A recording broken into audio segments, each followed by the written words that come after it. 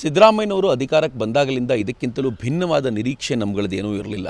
ಕಾಂಗ್ರೆಸ್ ಒಂಥರ ಮುಸ್ಲಿಂ ಪಾರ್ಟಿಯಾಗಿ ನಿರ್ಮಾಣಗೊಂಡ್ಬಿಟ್ಟಿದೆ. ಅವರಿಗೆ ಕಾನೂನಿನ ಮೇಲೆ ವಿಶ್ವಾಸ ಇಲ್ಲ ಅಥವಾ ಕಾನೂನು ಹೇಳಿದ್ದನ್ನ ಒಪ್ಕೋಬೇಕು ಅನ್ನುವಂಥ ಯಾವುದೇ ಧಾವಂತವೂ ಇಲ್ವಾ, ಇಲ್ಲ ಅಥವಾ ಒಟ್ಟಾರೆ ಅವ್ರಿಗೆ ಇರೋದು ಒಂದೇ ಒಂದು ಏನು ಅಂತಂದ್ರೆ ಹೇಗಾದರೂ ಮಾಡಿ ಮುಸ್ಲಿಂ ವೋಟ್ಸನ್ನು ತಮ್ಮದಾಗಿಸ್ಕೊಳ್ಬೇಕು ಅನ್ನೋ ದೃಷ್ಟಿಯಿಂದ ಕಾಂಗ್ರೆಸ್ ಒಂದು ಮುಸ್ಲಿಂ ಪಾರ್ಟಿಯಾಗಿ ಪರಿಣಮಿಸಿದೆ. ನಾವು ಶಿಕ್ಷಣ ವ್ಯವಸ್ಥೆಯನ್ನು ರೂಪಿಸಿರೋದು ಹೇಗೆ ಅಂತಂದ್ರೆ ಕಳೆದ ಅನೇಕ ವರ್ಷಗಳಿಂದ ಸ್ವಾತಂತ್ರ್ಯ ಬಂದಲಾಗಾಯಿತು, ನಾವು ಹೆಂಗ್ ಮಾಡಿದ್ದೀವಿ ಅಂತಂದ್ರೆ ಅದು ಸಾರ್ವ, ಸಾರ್ವತ್ರಿಕವಾಗಿರಬೇಕು ಎಲ್ಲರೂ ಈಕ್ವಾಲಿಟಿಯನ್ನು ಅಲ್ಲಿ ತೋರಿಸುವಂತಾಗಬೇಕು, ಜಾತಿ, ಮತ ಪಂಥಗಳನ್ನು ಮೀರಿ ಶಿಕ್ಷಣವನ್ನು ಕೊಡುವಂತಾಗಬೇಕು ಅನ್ನೋ ದೃಷ್ಟಿಯಿಂದ ಎಲ್ಲವನ್ನೂ ವ್ಯವಸ್ಥೆ ಮಾಡ್ಕೊಂಡಿದ್ರೆ ಅದಕ್ಕೋಸ್ಕರವೇ ಒಂದು ವಸ್ತ್ರ ಸಂಹಿತೆಯನ್ನು ಜಾರಿಗೆ ತೆಗೆದುಕೊಂಡು ಬಂದು ಆ ವಸ್ತ್ರ ಸಂಹಿತೆ ಅಡಿಗೆ ಎಲ್ಲರೂ ಸಮಾನವಾಗಿದ್ದಾಗ ಈ ಹಿಂದೆ ಹಿಜಾಬ್ ಹಾಕೊಂಡು ತಿರುಗಾಡುವಂತ ಗಲಾಟೆಯನ್ನು ಪಿ ಎಫ್ ಐ ಶುರು ಮಾಡಿತು. ಆ ಪಿ ಎಫ್ ಐ ಬೆಂಬಲಿಗರಾಗಿದ್ದಂತ ಸಿದ್ದರಾಮಯ್ಯನವರು ತಮ್ಮ ಅವಧಿಯಲ್ಲಿ ಪಿ ಎಫ್ ಐನ ಕೇಸ್ಗಳನ್ನೆಲ್ಲ ತೆಗೆದಿದ್ದಂತ ಸಿದ್ದರಾಮಯ್ಯನವರು ಈಗ ಅಧಿಕಾರಕ್ಕೆ ಬಂದೊಡನೆ ಯಾವುದನ್ನ ಪಿ ಎಫ್ ಐನವರು ಒಂದು ಗಲಾಟೆಯಾಗಿ ಶುರು ಮಾಡಿದ್ರು, ಅದಕ್ಕೆ ಮತ್ತೆ ಬೆಂಬಲ ಕೊಟ್ಟಿದ್ದಾರೆ. ಇದು ಬಹಳ ದುರಂತಕಾರಿ ಸಂಗತಿ ಅಂತ ನನ್ಗನ್ಸುತ್ತೆ. ಕಾಂಗ್ರೆಸ್ ಬಂದಾಗಲೆಲ್ಲ ಮುಸಲ್ಮಾನರನ್ನ ಏಜ್ ಓಲ್ಡ್ ಟ್ರೆಡಿಷನ್ಗೆ ವಾಪಸ್ ತಳ್ಳುತ್ತೆ. ನರೇಂದ್ರ ಮೋದಿ ಅವರು ಬಂದು ಈ ದೇಶದಲ್ಲಿ